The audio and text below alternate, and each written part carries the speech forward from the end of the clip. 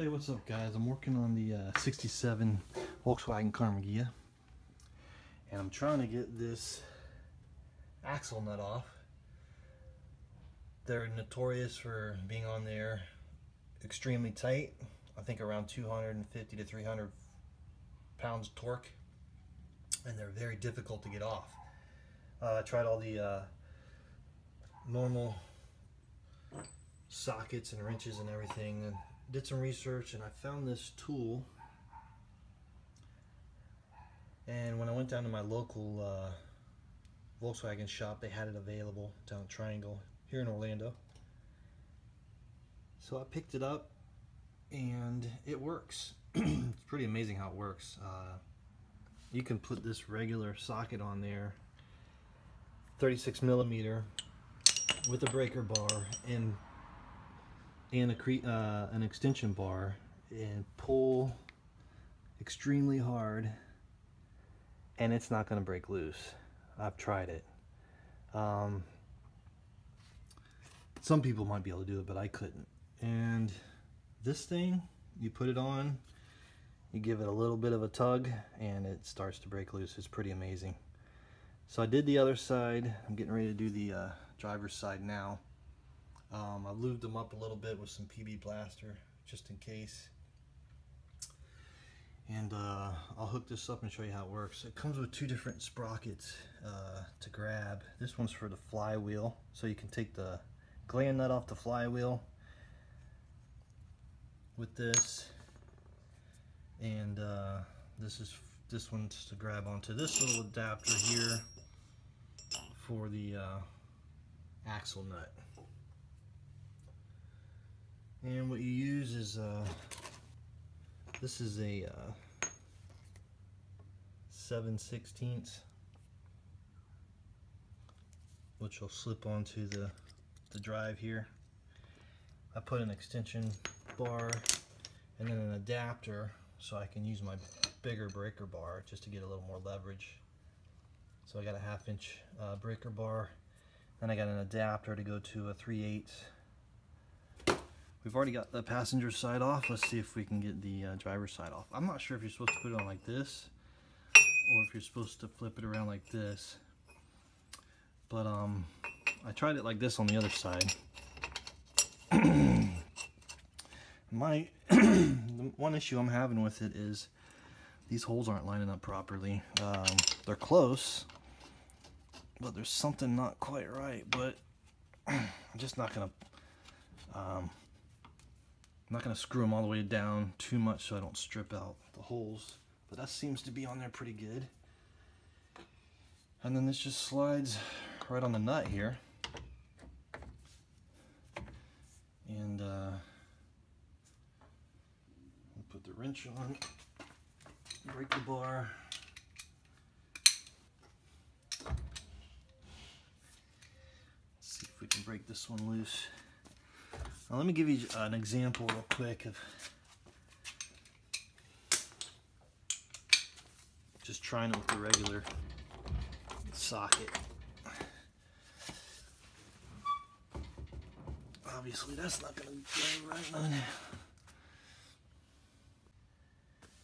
Alright, so what I did is I got the car jacked up, took the tires off, and then I slowly set the axle and hub back down on the on the tire here. That way hopefully it'll help it from turning. I've got the emergency brake on, got it in gear, but it still wants to turn when you put a lot of pressure on it. So I just want to give you an example here of trying to use a regular breaker bar. It's still it's still wanting to turn. Let's see this will make any difference here.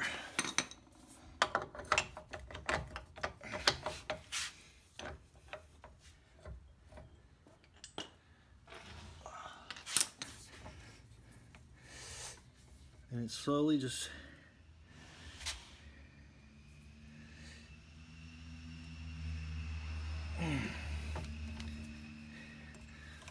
readjust this.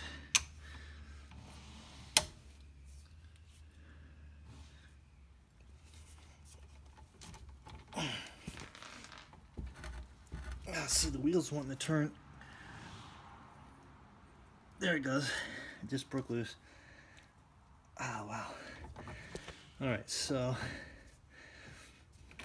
see if I can. It's a little awkward, uh, but it does work. You can see it's starting to turn a little bit.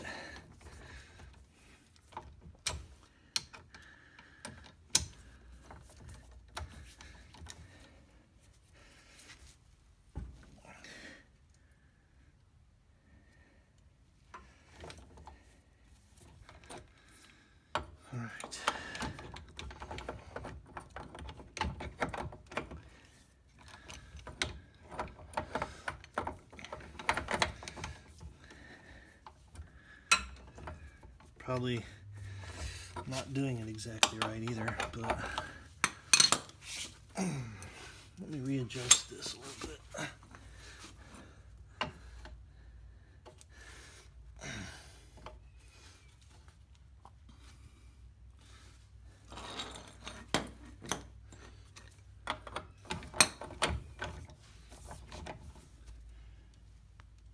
Yep, there it goes. I don't know you can see that turning, but it's tight, man. This really helps. It's pretty cool.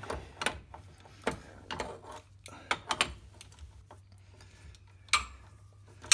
don't know who uh, came up with this, but that was a good idea.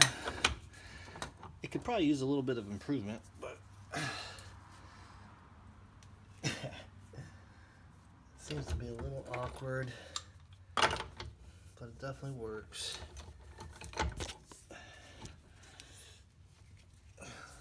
Glad I got it. There it goes. All right. It's probably loose enough now that I can just put the regular socket on there. Yep. So that's it, man. That's the uh,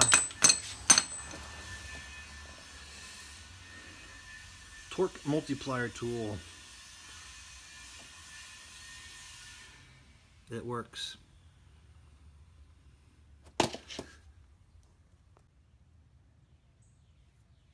All right, well we uh, finally broke the wheel hub off beat on it for a while from the back side here.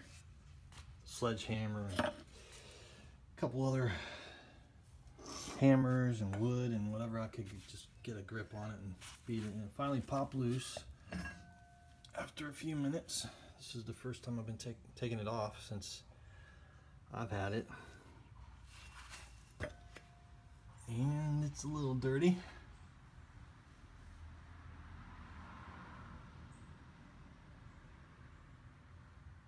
Not sure when the last time somebody was in here. Who knows? Could have been a long time ago. But, uh,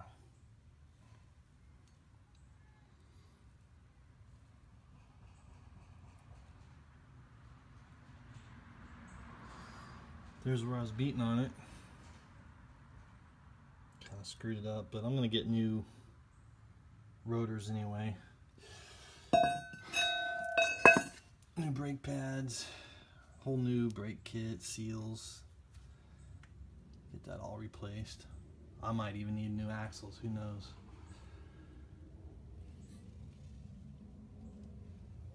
But we're getting into it.